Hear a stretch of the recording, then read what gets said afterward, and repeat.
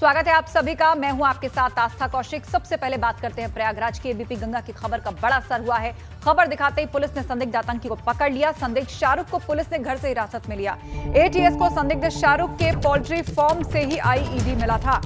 पहले पुलिस ने सिर्फ़ नाम पता नोट करके शाहरुख को छोड़ दिया था। एबीपी गंगा ने इस खबर को उठाया और आपको बताया कि कैसे शाहरुख, जो कि खुद सरेंडर करने पहुँचा। पुलिस ने नाम पता नोट करने के बाद उसको छोड़ दिया था और अब पुलिस ने संदिग्ध शाहरुख को उसके घर से हिरासत में लिया है। संदिग्ध आतंकी को हिरासत में लिया गया। संदिग्ध के परिवार ने उसे बेकसूर बताया है। पुलिस ने पहले नाम पता नोट करके उसे छोड़ दिया था। लापरवाही की खबर को प्रमुखता से दिखाया था। एवीपी गंगा के पास शाहरुख को हिरासत में लिए जाने की एक्सक्लूसिव तस्वीरें भी हैं। हिरासत से पहले शाहरुख और उनके परिवार ने खुद को बेगुनाह बताया था। कहा था कि शाहरुख वो खुद पुलिस के सामने सरेंडर करना चाहता है। और ये देखिए, पुलिस किस तरह उसको हिरासत में लेने के लिए पहुँची। ये एक्सक्लूसिव तस्वीरें हैं। शाहरुख ने खुद अपने पोल्ट्री फॉर्म में आईईडी बम की बात भी कबूली है। उसने पोल्ट्री फॉर्म में आईईडी रखे जाने की बात कबूल की है और यही सब बातें लेकर सरेंडर करने वो थाने पहुँचा था। लेकिन पुलिस ने उसका नाम नोट किया, घर का पता नोट किया और उसे छोड़ दिया। संदिग्ध आतंकी शाहरुख, उसे छोड़ दिया था पुलिस ने। एबीपी गंगा ने इस खबर को दिखाया और उसके बाद पुलिस वापस उसके घर पर पहुँची। और आप देख सकते हैं कि आगे लाल टी शर्ट में जो बाइक पर बैठकर जा रहा है, ये वही शाहरुख है, संदिग्ध आतंकी, जो सरेंडर करने पहुँचा और अपने पोल्ट्री फॉर्म में आईडी होने की बात भी उसने खुद कबूली है। और अब पुलिस उसके घर पहुँची और अब उसे हिरासत में अपने साथ ले गई है। प्रयागराज पुलिस की बड़ी लापरवाही सामने आई थी। जब लाल टी शर्ट में बैठा, ये शख्स, जिसका नाम शाहरुख है वो खुद आत्मसमर्पण करने के लिए थाने में पहुँचा था और उसने अपने पोल्ट्री फॉर्म में आईईडी होने की बात भी कबूल की थी। लेकिन पुलिस ने क्या किया? थाने जब वो पहुँचा तो उसका नाम पता नोट करके वापस भेज दिया। एबीपी गंगा सुबह से यह खबर आपको दिखा रहा है और बार बार हम प्रयागराज पुलिस की लापरवाही की खबर दिखा रहे हैं। जिसके बाद अब हरकत में आई है पुलिस और उसके घर पहुँची, अपने साथ लेकर गई है प्रयागराज पुलिस अब संदिग्ध आतंकी शाहरुख को। और ये उस वक्त की तस्वीरें हैं, जब उसके घर पहुंचकर अपने साथ लेकर गई प्रयागराज पुलिस। पुलिस ने नाम पता नोट करने के बाद उसे वापस भेज दिया था। पर जब ये खबर सामने आई, इसके बारे में पता चला कि कैसे एक शख्स आतंक का आरोप जिसके ऊपर आईडी होने का आरोप जिसके पोल्ट्री फॉर्म के अंदर वो खुद सरेंडर करने के लिए गया है, उसे क्यों वापस भेज दिया गया? ये खबर हमने दिखाई। खबर दिखाते ही पुलिस ने संदिग्ध आतंकी को पकड़ लिया पुलिस ने घर से हिरासत में लिया है। संदिग्ध शाहरुख को। ये अपने घर पर ही मौजूद था। मोहम्मद मोइन हमारे साथ फ़ोन लाइन पर जुड़ गए हैं। मोइन, सुबह से एबीपी गंगा ये खबर दिखा रहा है। अब आखिरकार प्रयागराज पुलिस अपने किए धरे पर वापस से लीपापोती करने पहुँची और अब अपने साथ लेकर गई है फाइनली जी, निश्चित तौर पर कहा जा सकता है कि इस मामले में प्रयागराज पुलिस की बड़ी लापरवाही सामने आई थी। एक संदिग्ध आतंकी था जिसके पोल्ट्री फार्म से आईडी बरामद की गई थी। वो खुद पुलिस के सामने सरेंडर करना चाह रहा था, लेकिन पुलिस उसे लेने को तैयार नहीं थी। वो तमाम तरीके की बहानेबाजी कर रही थी। इस मामले में एबीपी गंगा ने आज सुबह से इस खबर को प्रमुखता से दिखाया। हमारी खबर दिखाए जाने के बाद प्रयागराज पुलिस अब हरकत में आई है। वो शाहरुख के घर पहुँची है और उसे अब से कुछ देर पहले हिरासत में ले लिया गया है। तो प्रयागराज की अगर हम बात करें तो यहाँ करेली और कोतवाली थाने की पुलिस टीम जो है वो पहुँची थी, लेकिन कितनी पुख्ता तैयारियों के साथ पहुँची थी। आप एक संदिग्ध आतंकी को गिरफ़्तार करने जा रहे हैं, उसे हिरासत में लेने जा रहे हैं, लेकिन जो पुलिस टीम पहुँची थी, वो बाइक से पहुँची थी, और बाइक पे बिठा करके जो संदिग्ध आतंकी शाहरुख है, जिसके पोल्ट्री फार्म से आईईडी बरामद हुआ था, उसे हिरासत में लेकर के थाने ले जाया गया है, और प्रयागराज पुलिस के अफसरों का कहना है कि इस मामले में अब एटीएस को और दिल्ली पुलिस की जो स्पेशल सेल है, उसे जानकारी दी जाएगी। वहाँ से टीम जब आती है तो शाहरुख को उनके हैंडओवर किया जाएगा। इस मामले में ज़्यादा पूछताछ और ज़्यादा तफ्तीश जो है वो एटीएस और दिल्ली पुलिस की स्पेशल टीम ही करेगी। बिल्कुल तो अब उससे पूछताछ जो है वो एटीएस और दिल्ली पुलिस की स्पेशल सेल ही करेगी। उसे अब वापस जो है पुलिस लेने पहुँची, हिरासत में लेकर चली गई है। मोइन शाहरुख खुद पहुँचा था थाने और सिलसिलेवार तरीके से। उसकी टाइमलाइन की अगर हम बात करें तो कितने बजे वो थाने पहुँचा? किससे उसकी मुलाकात वहाँ पर हुई, जो नाम पता नोट करके अभी भी ये भागा नहीं, अपने घर पर ही था जब पुलिस ने हिरासत में इसको लिया। देखिए, शाहरुख ने कल रात को फेसबुक पर एक वीडियो अपलोड किया था, जिसमें ये वो चौक इलाके से बोलता हुआ कोतवाली थाने के बाहर तक पहुँचा था। उसने खुद को बेगुनाह बताया था और कहा था कि वो खुद जो है, वो पुलिस के सामने सरेंडर करने के लिए जा रहा है। तो इस वीडियो के आधार पर ये कयास लगाए गए थे कि उसने सरेंडर कर दिया। लेकिन जब इस बारे में प्रयागराज पुलिस से बातचीत की गई तो वो आनाकानी करने लगी और जो शाहरुख से जुड़े हुए सूत्र थे, उनका ये दावा था कि शाहरुख कल थाने पहुँचा ज़रूर था। उसने पुलिस को अपने बारे में जानकारी दी, लेकिन जो वहाँ पुलिस के लोग मौजूद थे, उन्होंने नाम पता नोट करने के बाद उसे वापस घर भेज दिया। कहा, इस बारे में जानकारी एटीएस को और दिल्ली पुलिस की स्पेशल सेल को दी जाएगी और वहाँ से जब कोई टीम आएगी, तब उसे बुला लिया जाएगा फ़ोन करके उसे बुला लिया जाएगा। तो निश्चित तौर पर कहा जा सकता है कि प्रयागराज पुलिस की लापरवाही थी। अगर एक कोई संदिग्ध उसके सामने आया है, कम से कम उसे गिरफ्तारी नहीं की जाती तो उसे हिरासत में रखा जाता और जो दूसरी एजेंसियाँ हैं, उनको जानकारी दी जाती। तो इस मामले में जो दिल्ली पुलिस की स्पेशल सील, एटीएस और उत्तर प्रदेश पुलिस तीन तीन एजेंसियाँ काम कर रही थी और कहा जा सकता है कि तीनों एजेंसियों में बेहतर तालमेल न हो पाने की वजह से इस तरीके की लापरवाही बरती गई थी। बहरहाल देर आए दुरुस्त आए। अब प्रयागराज पुलिस हरकत में आई है। उसने शाहरुख के घर पहुंचकर उसे हिरासत में ले लिया है और इस मामले में औपचारिक तौर पर एटीएस को और दिल्ली पुलिस की स्पेशल सेल को सूचना दी जा रही है।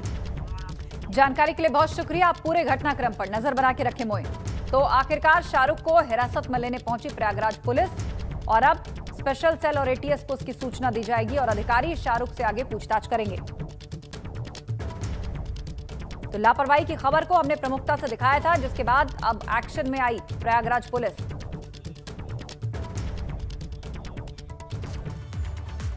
उधर रुड़की में झबरेड़ा विधानसभा से भाजपा विधायक देशराज कर्णवाल का एक और वीडियो वायरल हो रहा है। इस वीडियो में विधायक देशराज कर्णवाल नगर पंचायत कर्मचारियों पर खूब भड़क रहे हैं। देशराज वीडियो में कह रहे हैं कि अगर समस्या का समाधान नहीं किया तो नगर पंचायत के ऑफ़िस में मुर्दे को दफना देंगे। मामला झबरेड़ा क्षेत्र के शीतलपुर का है। कुछ दिन पहले एक शख्स की मौत हो गई थी, जब उसके शव को स्थानीय लोग कब्रिस्तान में दफन करने के लिए ले जा रहे थे तो रास्ते में पानी भरा था। इस बीच विधायक देशराज कंडवाल भी मौके पर पहुँच गए और नगर पंचायत के कर्मचारियों पर बरस पड़े। समझ रहे हो? यहाँ नहीं आने का वहीं दफनावाएँगे हाँ जी। अगर या तो इसको बनवाइए आप या तो इसको करवाइए नहीं मुर्दे को वहीं दफनावेंगे हम वहीं से दफनवा दूँगा वहीं से दफनवा दूँगा वहीं पे मुर्दा वहीं दफनाया जाएगा तुम्हारे नगर पंचायत के कार्यालय में। समझ रहे हो? यहाँ नहीं आने का वहीं दफनावाएँगे हाँ जी। अगर या तो इसको बनवाइए आप या तो इसको करवाइए नहीं मुर्दे को वहीं दफनावेंगे हम तो विधायक देशराज कर्णवाल इस अंदाज में भड़के नगर पंचायत के कर्मचारियों पर उन्होंने कहा कि या तो इस जगह को ठीक किया जाए ढंग से रास्ता बनवाया जाए नहीं तो मुर्दे को उसी ऑफ़िस में दफना दिया जाएगा। दरअसल कुछ दिन पहले एक व्यक्ति की मौत हुई थी लेकिन उसको ले जाते वक्त शमशान ले जाते वक्त बीच रास्ते में पानी भरा था बारिश के कारण जिसकी वजह से वो भड़क गए और उसके बाद किस तरह? वो बरसे कर्मचारियों पर या खुद देखिए। दफनाया जाएगा तुम्हारे नगर पंचायत के कार्यालय में। समझ रहे हो? यहाँ नहीं आने का वहीं दफनावाएँगे हाँ जी। अगर या तो इसको बनवाइए आप या तो उसको करवाया नहीं मुर्दे को वहीं दफनावेंगे हम। फिर विवादों में है सपा विधायक इरफान सोलंकी। कानपुर से खबर है, पुलिस से अभद्रता करते हुए एक वीडियो सामने आया है। दरअसल चालान के लिए फ़ोटो क्लिक करने पर वो ट्रैफ़िक पुलिसकर्मी पर भड़क उठे। सिपाहियों से जबरन फ़ोटो डिलीट करने का दबाव बनाने लगे। पुलिसकर्मी को खुलेआम धमकी देने लगे। जाजमऊ में चल रहे सपा के सम्मेलन में विधायक जा रहे थे। बिना हेलमेट के बाइक चला रहे कार्यकर्ताओं की पुलिसकर्मी फ़ोटो ले रहे थे। चकेरी के रामा देवी ओवरब्रिज का ये मामला। है?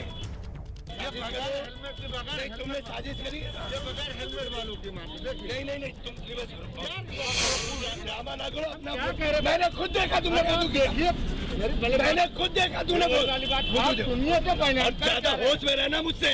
समझे? सुनिए सर। फ़ोटो या बगैर हेलमेट की हम लोग ले रहे हैं। वर्दी की घुसे दूँगा। फ़ोटो दिखा पहले। अरे फ़ोटो तुमने चढ़ा के भाई नहीं। नहीं नहीं नहीं। नहीं हेलमेट के बगैर तुमने साजिश करी ये बगैर हेलमेट वालों की मान नहीं नहीं नहीं तुम रिवर्स करो।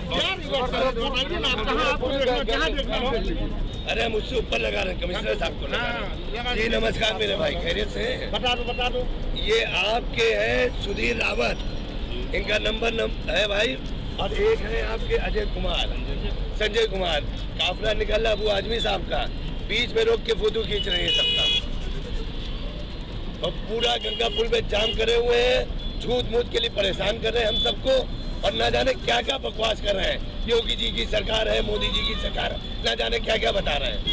खुद मैंने खुद अपनी आँखों से देखा है। मेरा अल्लाह गवाह इस बात का कि उसने गाड़ी का फ़ोटो खींचा और इससे पहले भी एक बार, पंद्रह बीस दिन पहले की बात है, वही सिपाही संजय नाम है क्या नाम है, अल्लाह वाला, मुझे सही से नहीं याद है। उसने मेरी गाड़ी का कोई फ़ोटो नहीं खींचा मैं एकदम एकदम स्पर्श करके आपको बता दूँ कि उसने मेरी गाड़ी का फ़ोटो ना खींचा, ना अबू आजमी साहब की फ़ोटो, वो जो हमारा काफिला निकल रहा था, जो आगे लड़के जा रहे थे, उनका फ़ोटो खींचा ताकि बाद में चलान। तो मैंने उससे से पूछा तो उसमें एक दूसरा सिपाही आके बदतमीजी जिसके लिए मैंने वहाँ पे मौजूदा जो टीआई साहब से उनसे शायद विनोद यादव तो उनसे भी मैं तो उन्होंने भाई जी मैं इस मामले को देख लूँगा। तो मेरी पत्रकार बंधु आपसे हाथ जोड़ के अपील है कि कभी कभी पूरी बात भी जान लिया करो, जो आप लोग कहते हो, हमेशा गलती मेरी नहीं होती। उधर चारधाम यात्रा के साथ ही सिखों के पवित्र तीर्थ हेमकुंड साहिब के कपाट भी खुल गए हैं। आज सुबह गुरु ग्रंथ साहिब को सचखंड गर्भगृह से दरबार साहिब में पंच प्यारे की अगुवाई में लाया गया। आपको बता दें कि कोरोना महामारी के चलते इस साल अब तक हेमकुंड साहिब के कपाट नहीं खुल पाए थे। हालाँकि हाल ही में हाईकोर्ट के आदेश के बाद चारधाम यात्रा के साथ ही हेमकुंड साहिब की यात्रा भी शुरू हो गई। आज डेढ़ सौ से ज़्यादा श्रद्धालुओं ने हेमकुंड साहिब में मत्था टेका। तो ये तस्वीरें हम आपको दिखा रहे हैं। हेमकुंड साहिब के कपाट आज से खुल गए हैं। गुरु ग्रंथ साहिब को दरबार साहिब आज लाया गया।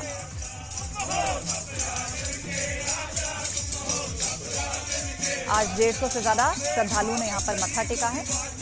रोज़ाना एक हज़ार तीर्थ यात्री ही यहाँ पर दर्शन के लिए आते हैं।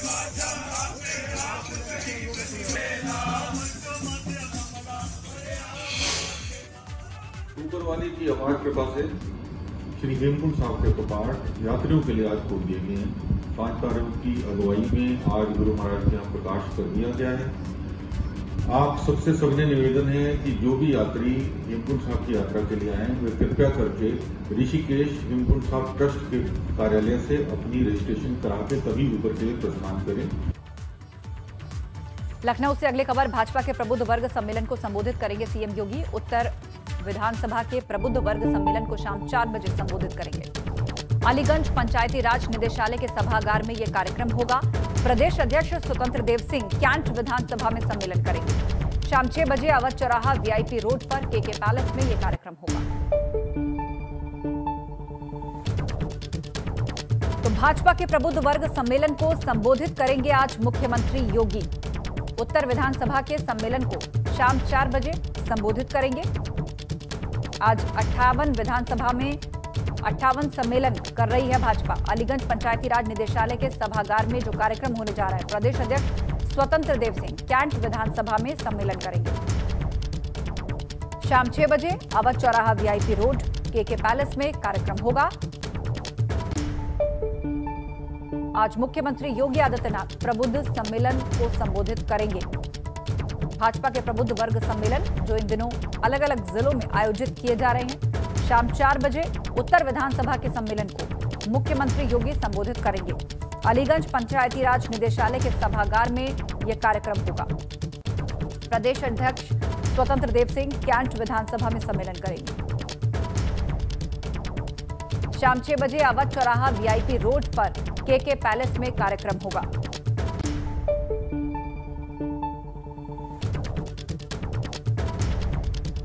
भाजपा के प्रबुद्ध वर्ग सम्मेलन को संबोधित करेंगे सीएम योगी।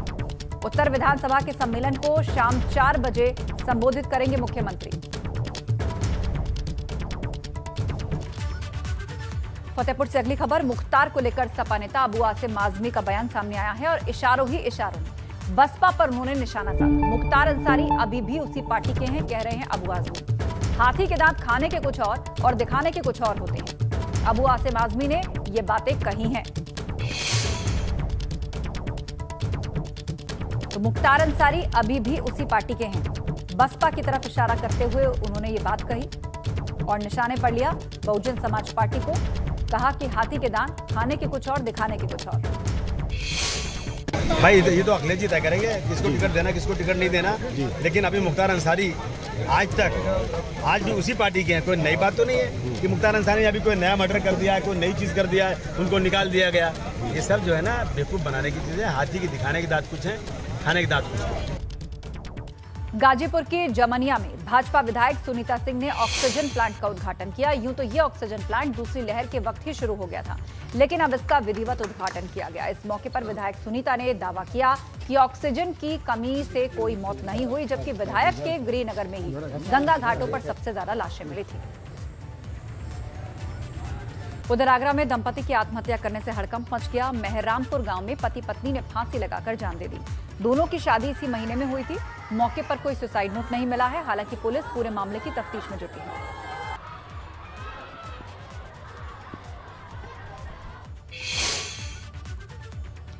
फतेहपुर में आज़ादी का अमृत महोत्सव मनाया गया। इस दौरान फ्रीडम रन दो का आयोजन किया गया। डीएम अपूर्वा दुबे और कर्नल ओपी शर्मा ने हरी झंडी दिखाकर फ्रीडम रन को रवाना किया।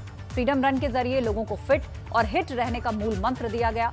आपको बता दें कि सरस्वती विद्या मंदिर स्कूल प्रांगण में आयोजित कार्यक्रम में छात्रों और एनसीसी कैडेट्स बड़ी तादाद में शामिल हुए। सरस्वती विद्या मंदिर से बुलेट चौराहा तक करीब दो किलोमीटर की फ्रीडम दौड़ का आयोजन किया गया। जनपद फतेहपुर में जो क्रॉस कंट्री का आयोजन किया गया है it is two kilometres run and यहाँ कई सारे जो बच्चे हैं वो एकत्रित हुए हैं।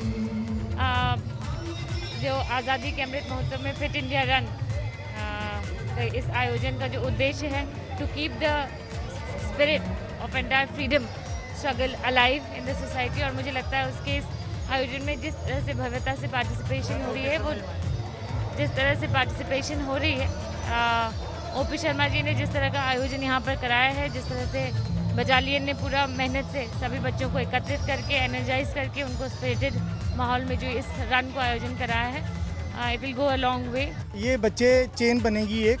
ये चेन जब जिस गली मोहल्ले शहर में जाएँगे तो अपने आड़ोस पड़ोस के लोगों को जागरूक करेंगे, जिससे फिट रहने के लिए उनकी रिक्वेस्ट करेंगे, और ये खुद ही प्रेरणा के लिए उनके बीच में हैं। तो बहुत बड़ा मैसेज है लोगों को, आम जनमानस को।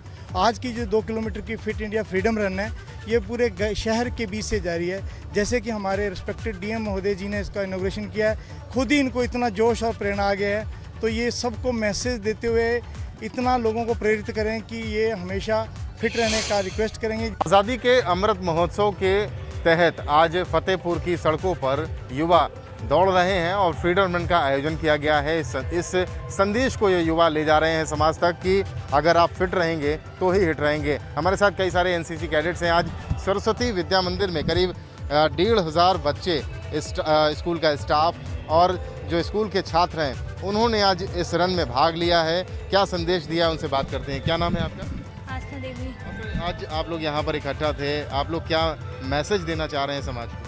हम यही मैसेज देना चाहते हैं कि सब लोग मतलब फिट रहिए देश को आगे बढ़ाइए। अच्छा आप आपका क्या नाम है? अंशिका अवस्थी। अंशिका ये बताइए कि आज आप लोग यहाँ पर आए हैं प्रधानमंत्री बात करते हैं फिट रहने की। लोग समाज में उनके मैसेज को गंभीरता से लेते हैं क्या? ऑफकोर्स गंभीरता से लेते हैं। एक्चुअली ये कोरोना टाइम चल रहा है तो ये फिट रहने की बात तो है ही।